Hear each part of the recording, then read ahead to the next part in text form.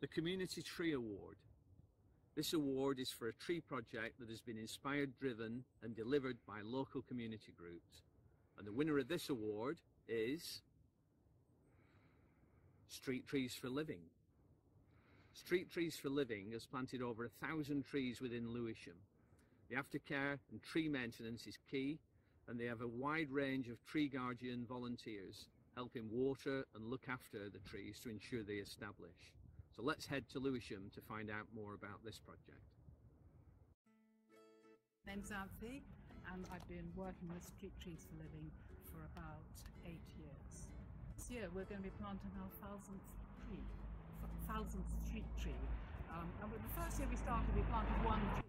And this is our eighth year and we're planting 239 which is a record number directly we have a we have a board of seven we have area reps we have 12 we have street reps 50 60 70 we have waterers about 400 and then people who benefit from all the school trees the children who are doing lessons thousands. So it, it, all in all it's thousands of people who are involved and benefit. Um, we send round leaflets to, to, to streets and people who are interested um, in trees send the leaflets back and we find that there is a community who may not even know each other of tree enthusiasts on, on any street. And once they get hold of this idea then um, they become very involved. And I find if I go round the street with, um, with, the organizer working out where the tree is going to go other people will just join us. And there really is a community. All need nature around us to feel better. And we are part of the natural world and London is a famous city with trees and it's beautiful. We're walking a lot of trees during lockdown and it gave me a reason to get out of the house at six o'clock in the morning just go around and be with the trees.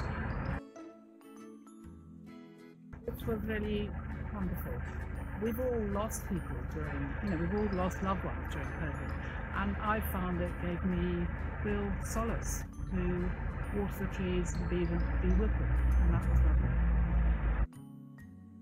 We want to involve every section of the community within Lewisham, and some parts are more involved than others. Um, uh, we want to involve, we, we're planting trees in all the wards, but we, we want to, to spread that out much more. And one way of doing that is planting schools, uh, to trees around schools. The amount of trees we've planted, all the species that we've got, so we've got 400 people watering the trees. So many people come together and to look after the trees and love them. To council, they will be on your side. Talk to them, get something going. Or talk to us.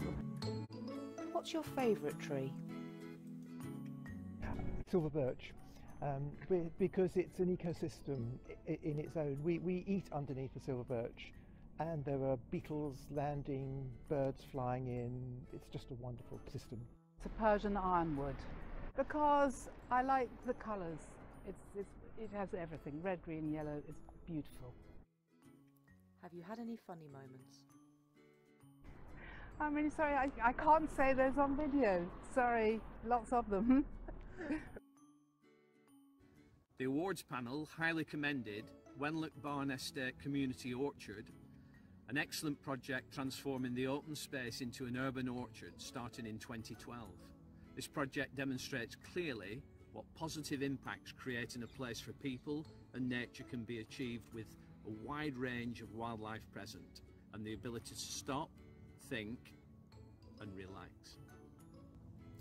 So congratulations to the three winners. Three more great examples of projects playing such an important role in London, caring for the capital's trees and the woodlands.